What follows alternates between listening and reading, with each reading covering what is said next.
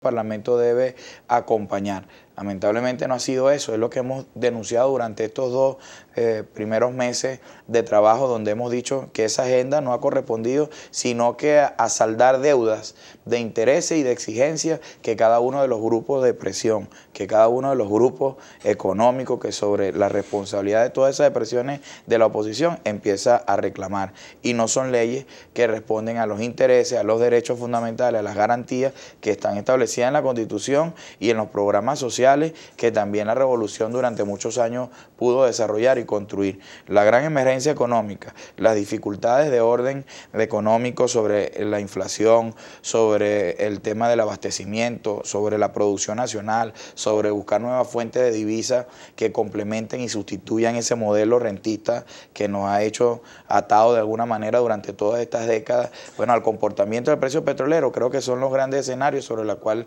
el venezolano común espera que en a corto plazo se le responde. Con relación a eso de la renta petrolera, hay, hay voces que nos dicen que vamos a dejar la renta petrolera para ir a la renta del oro. ¿Qué crees tú sobre esas concesiones que se están dando en el cordón minero que de, no, en primer lugar además que se le está dando el tratamiento correcto de Estado y con una visión de desarrollo estratégico donde nosotros debemos superar la actividad ilegal y mafiosa que durante años ha soportado bueno la extracción de los minerales en este caso no solamente de oro sino de otros más bauxita hierro coltán que están ahí en ese arco minero y que si nosotros no igualitos hacemos las acciones de Estado y las asociaciones estratégicas nacionales e internacionales quién lo está explotando cuáles son las consecuencias nefastas, no solamente sociales, que alrededor de esta mafia y de esta actividad ilegal se han venido perpetrando durante todos estos años, sino también el impacto negativo ecológico, ambiental, el ecocidio que está generando en toda esta región tan vital para la... ¿Por parte de quién, Víctor? No, por parte de todas estas prácticas mafiosas que en la extracción del oro de manera ilegal sostienen, pero que hay tráfico de drogas,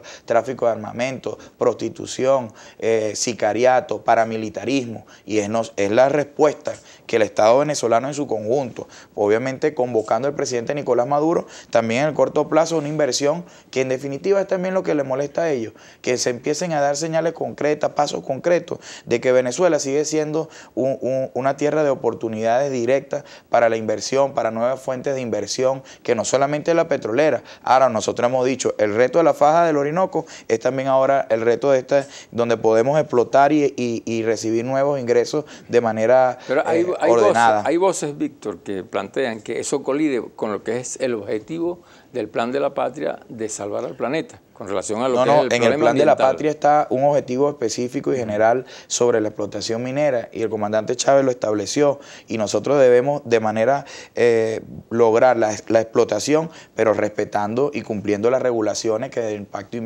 ambiental desde el punto de vista de la seguridad y defensa puedan garantizar esta actividad productiva pero bueno en el marco de otro orden, de otro clima, no en este que precisamente generó la situación que hemos venido atravesando en estos días, en el caso específico de Tumeremo, y que nosotros dimos un debate allá en el seno de la Asamblea. Creo que nosotros vamos a seguir superando esas situaciones nefastas que han estado ahí con todo este plan especial de 2016-2018 que ha convocado el presidente Nicolás Maduro. Claro, tú sabes que ese es un ambiente muy frágil, ¿no? El ambiente de, la zona minera. Claro, lo más frágil que se explote de esta manera, con el uranio, como hacen de esta manera. Pero ¿qué, de, ¿qué dice? De la manera artesanal. Hay quienes dicen dicen que es preferible tener agua a tener oro, porque eso supuestamente eso va a, destruir prácticamente Más terrible como se está haciendo, y si no se hace la presencia de Estado y de la inversión que se está haciendo, esa actividad minera, artesanal, mafiosa que está ahí, es la que va a seguir haciendo el ecocidio, que al final, bueno, está haciendo los impactos La capacidad tecnológica, para eso la tenemos.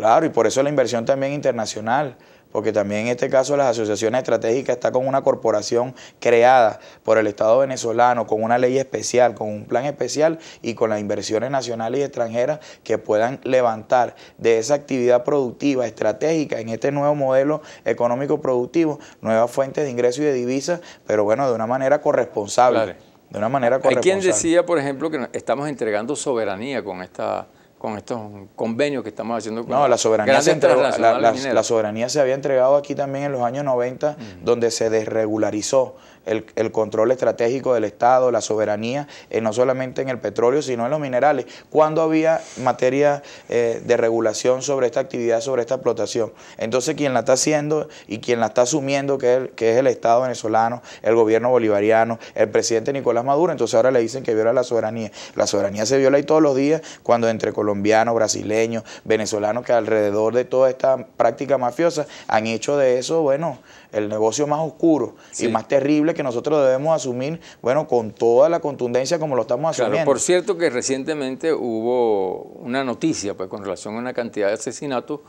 contra los mineros ilegales. ¿Qué sabes tú de eso? No, mira, ahí está toda la investigación y toda la actuación firme del Estado y, de los cuerpos de investigación, de la Fiscalía, de la Defensoría del Pueblo, de la Fuerza Armada, y es lo que le dijimos en el debate, que fueran responsables, que no utilizaran el dolor ajeno de la familia, del pueblo de Bolívar y en este caso de, la población de Tumeremo para, para objetivos políticos, politiqueros, como vimos un diputado de la derecha decir cuál era el candidato que ya ellos consideraban para la gobernación en el medio de ese debate. ¿Están o no en sintonía con el dolor y con la, con la solidaridad de la familia, que en definitiva es lo que debemos nosotros acompañar y que se llegue a las conclusiones definitivas de lo que pasó. Otro, tema puntual político, la salida que ha planteado la oposición con relación al, a desocupar, a desalojar al presidente de Maduro de la presidencia de la no, Las múltiples salidas y los caminos confusos que tiene esa oposición es un problema de ellos, de cómo en cada uno de esos escenarios que ellos creen, desde el más violento, desde el más eh, trágico, para, para, la paz del país, porque en definitiva esa salida que ellos ponen como primer orden o la renuncia, no, al final, ¿cuál es? Es un clima de violencia. tres salidas o tres propuestas. Sí, bueno, las dos las tenemos claro en la Constitución y son mecanismos que esta constitución novedosa de 1999, de una, de una nueva democracia,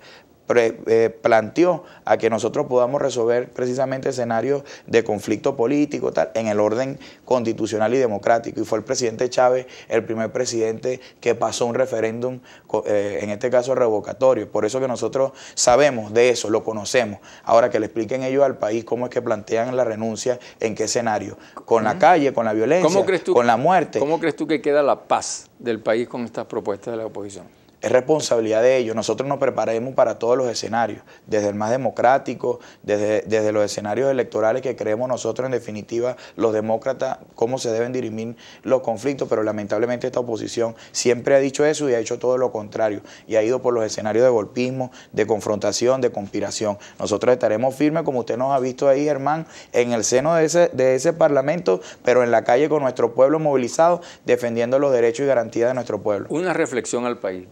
Bueno, la reflexión fundamental es que el año 2016 de exigencia, de dificultades, es también el año donde se prueba la venezolanidad, la capacidad que tiene este pueblo heroico en superar las dificultades, de crecerse en esas dificultades, así como Bolívar, y nosotros encontrar el camino correcto, sobre el cual construir una nueva economía donde la gran capacidad nacional, donde el, gran motor que tiene el pueblo venezolano, que es su capacidad productiva, su riqueza, esté al servicio de la calidad de vida del pueblo venezolano. Y atrás queden la mezquindad y el egoísmo. Ahí vamos a estar nosotros, hermano. Muchísimas gracias. Muchas gracias a ti.